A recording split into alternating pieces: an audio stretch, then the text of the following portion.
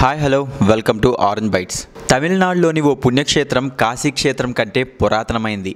అందువల్లే ఇక్కడ స్వామివారిని పూజిస్తే కాశీలో విశ్వనాథుణ్ణి సేవించిన దానికంటే ఎక్కువ పుణ్యం వస్తుందని నమ్ముతారు. అంతేకాకుండా ఇక్కడ పుట్టినా చనిపోయినా ఇప్పటి వరకు చేసిన తప్పులన్నీ సమసిపోయి తప్పక కైలాసానికి వెళ్తారని ప్రతీతి. అందుకే కాశీలో జీవిత చరమాంకం గడపడానికి వీలు కుదరని వారు ఇక్కడికి వచ్చి దైవ సన్నిధిలో తమ శేష జీవితాన్ని ముగిస్తారు. ఈ నేపథ్యంలో ఈ దేవాలయానికి సంబంధించిన కథనం ఒకటి మనం ఇప్పుడు తెలుసుకుందాం. విరుదాచలం. దీన్ని వృద్ధాచలం అని కూడా అంటారు. వృద్ధ కాశీ అని కూడా పిలుస్తారు. ఇందుకు కారణం లేకపోలేదు. కాశీలో మరణిస్తే మోక్షం లభిస్తుందని చెబుతారు. ఇక్కడి స్థల పురాణం ప్రకారం వృద్ధ కాశీ అని పిలువబడే ఈ విరుదాచలంలో మరణిస్తే కాశీలో మరణించిన దానికంటే ఎక్కువ పుణ్యమే లభిస్తుందని చెబుతారు. కాశీలో చెప్పినట్టే ఇక్కడ కూడా చనిపోతున్న వారి శిరస్సును తన ఒడిలో ఉంచుకొని ఇక్కడ కొలువై ఉన్న వృద్ధాంబిక తన చీర కొంగితో విసురుతూ ఉండగా వారి చెవిలో పరమేశ్వరుడు తారక మంత్రాన్ని ఉపదేశించి వారికి మోక్షం ప్రసాదిస్తాడని చెబుతారు. అదేవిధంగా పరమశివుడు నటరాజ రూపంలో నాట్యానికి ప్రసిద్ధి. ఈయన చిదంబరంలో కాళీతో పోటీపడి నాట్యం చేస్తే ఈ విరుదాచలం లేదా వృద్ధాచలంలో తన సంతోషం కోసం నాట్యం చేశాడని చెబుతారు. అంతే స్వామి సంతోష తరంగాల్లో తేలిపోతూ నాట్యం చేసిన ప్రదేశం ఇదే. ఈ ఆలయంలో ఐదో అంకెకు విశిష్ట స్థానం ఉంది. ఈ ప్రాంగణంలో పూజలందుకునే మూర్తులు ఐదుగురు.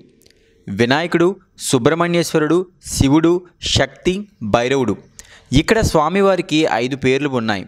అవి విరుదగిరీశ్వరుడు పజుమలై నాథార్ విరుద్ధాచలేశ్వర్ ముద్దికుండ్రీశ్వరుడు వృద్ధగిరీశ్వరుడు. ఆలయానికి ఐదు గోపురాలు ఉన్నాయి అదేవిధంగా ఐదు ప్రాకారాలు ఐదు మండపాలు ఐదు నందులు ఉన్నాయి. వేకువ జాము నుంచి రాత్రి దాకా స్వామికి నిర్ణీత సమయంలో ఐదు సార్లు పూజలు కూడా చేస్తారు. సాధారణంగా ఏ ఆలయంలోనైనా ఐదు రథాలు ఉంటాయి. ఇక్కడ ఐదు రథాలు ఉన్నాయి. స్వామివారు స్వయంభుడు.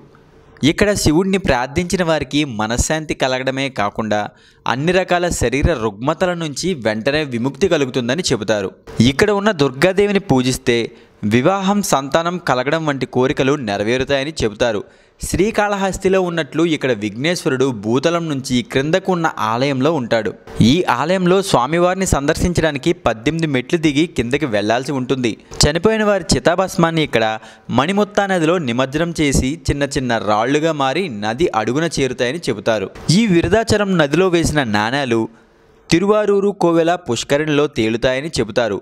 ఈ విషయానికి సంబంధించి ఎన్ని పరిశోధనలు జరిగినా ఫలితం మాత్రం శూన్యం. అరుణాచలంలో చెప్పినట్లుగానే ప్రతి పౌర్ణమికి ఇక్కడ భక్తులు గిరి ప్రదక్షిణ చేస్తారు. అందుకే ఇక్కడ స్వామివారిని విన్వయించుకున్న కోరికలు త్వరగా తీరుతాయని చెబుతారు. శైవ సిద్ధాంతం ప్రకారం ఇక్కడ ఇరవై ఎనిమిది ఆగమ శాఖలు ఉన్నాయి. సుబ్రహ్మణ్యేశ్వరుడు ఇరవై ఎనిమిది సిద్ధాంతాలకు ప్రతీకగా ఇరవై ఎనిమిది లింగాలు ఇక్కడ ప్రతిష్ఠించి పూజించాడని నమ్ముతారు. ఈ వీడియో కనుక మీకు నచ్చినట్లయితే లైక్ చేయండి షేర్ చేయండి. మరిన్ని ఇంట్రెస్టింగ్ వీడియోల కోసం మా ఛానల్కి సబ్స్క్రైబ్ అవ్వండి.